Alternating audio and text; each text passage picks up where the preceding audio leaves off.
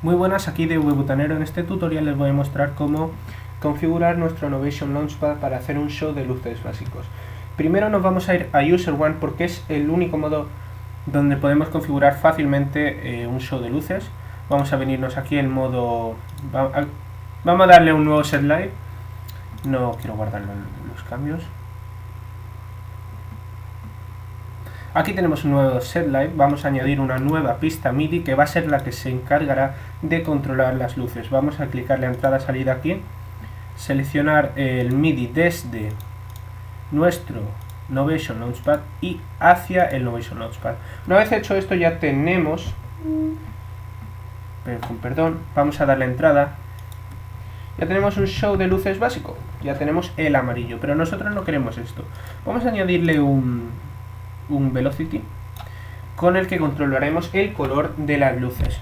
En mi caso voy a ponerle, que se cambia el color, en mi caso voy a ponerle un valor 60, que se trata de un azul, de un verde, perdón. Aquí tenemos el verde. Nosotros queremos este efecto que solo venga desde aquí hasta aquí, es decir, este cuadrante. Para ello vamos a añadirle un effect rack, vamos a añadir el velocity aquí dentro, vamos a clicarle en este botoncito de aquí, vamos aquí, vamos a decirle de qué nota, qué nota queremos que funcione. Del Do 1, C1, hasta el Re sostenido, ay, perdón, de hasta aquí, justamente este Mi bemol, ahí. Fuera de esto no funciona el efecto, aquí dentro sí.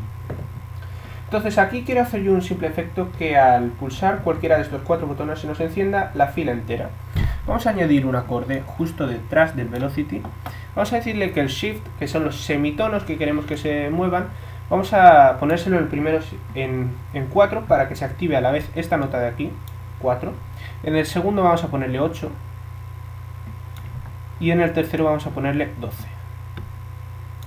Ahí está. Y ya lo tenemos. Estas cuatro filas se han encendido. Vamos a añadir a este cuadrante otro efecto diferente. Vamos a crear una nueva cadena.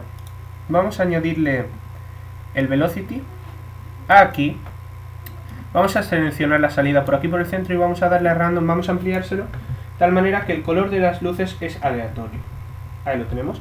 Vamos a añadirle un arpeggiator ahí. Le vamos a decir que funcione desde aquí es decir, esta nota hasta aquí, es decir, esta nota.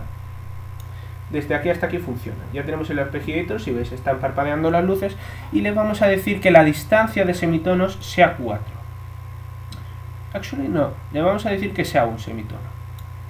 Y le voy a decir que los pasos sean tres. Y. Ahí tenéis el efecto.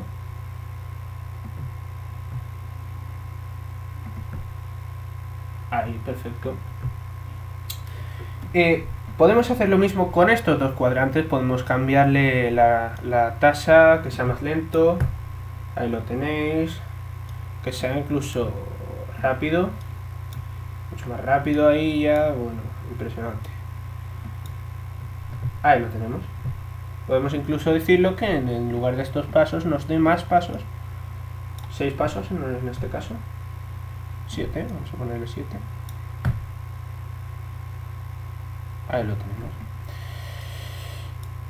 Ahora lo que vamos a hacer va a ser ver cómo configurar esto, pero para para hacer efectos más chulos, vamos a venirnos aquí al modo Arrangement. Vamos a añadirle un clip MIDI aquí. Insertar clip MIDI.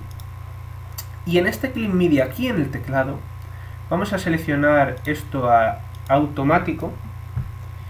Y en el clip MIDI le vamos a decir, le vamos a escribir las notas que queremos que se nos iluminen.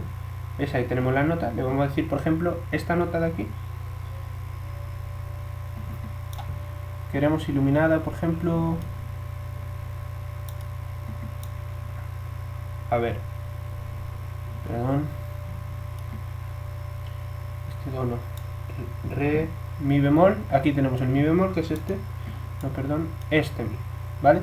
Vamos a añadirle en este mi esto es, hasta aquí por ejemplo, en el sol sostenido, que es este botón, Esto lo vamos a añadir aquí. Vamos a añadírselo en el sí.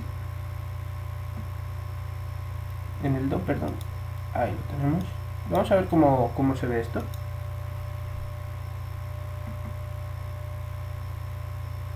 Me he equivocado. No pasa nada.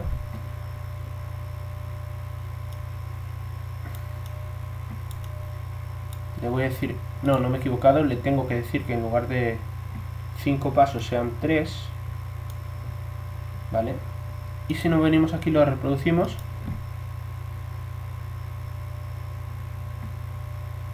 Ahí lo tenemos, ya le modo aleatorio y todo.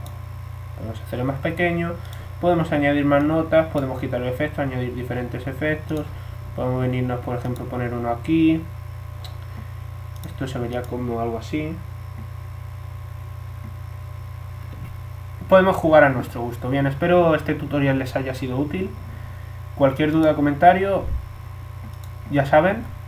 Y nos vemos en el próximo vídeo. Muchas gracias.